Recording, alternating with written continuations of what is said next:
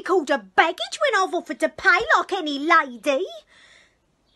I want to be a lady in a flower shop instead of selling at the corner of Tottenham Court Road. But they won't take me unless I can talk more genteel. Well, he said he could teach me. Well, here I am, ready to pay him, not asking any favour, and he treats me as if I was dirt.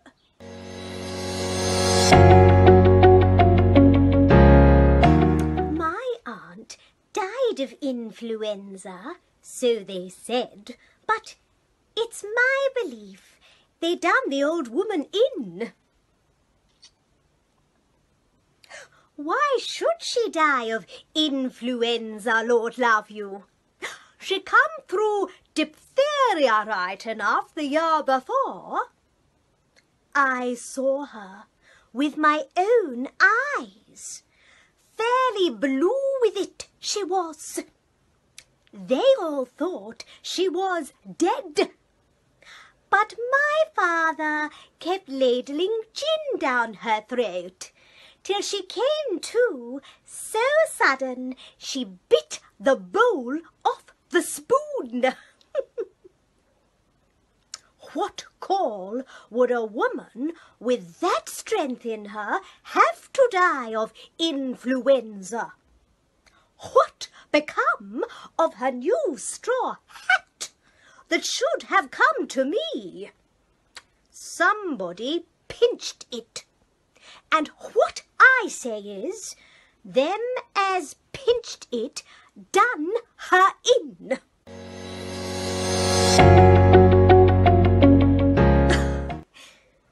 now I know how to deal with you. Fool I was not to think of it before. You can't take away the knowledge you gave me. You said I had a finer ear than you, and I can be civil and kind to people, which is more than you can. That's done you, Henry Higgins, it has.